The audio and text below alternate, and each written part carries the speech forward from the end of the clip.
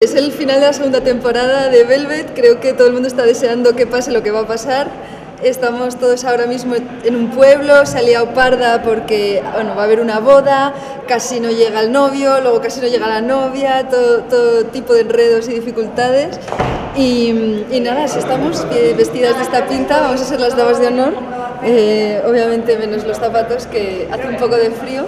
Hoy nos hemos pegado el madrugón de las 5 de la mañana para estar aquí abriendo el pueblo, que todavía no habían puesto ni las calles. Y nada, y vamos a celebrar una super fiesta. Y, y, luego va a haber un holgorio, va a haber cánticos y de todo, así que nada, no os lo podéis perder, sé que no lo vais a hacer porque tenéis muchas ganas de verlo y, y nada, que os guste mucho y lo disfrutéis. Un beso.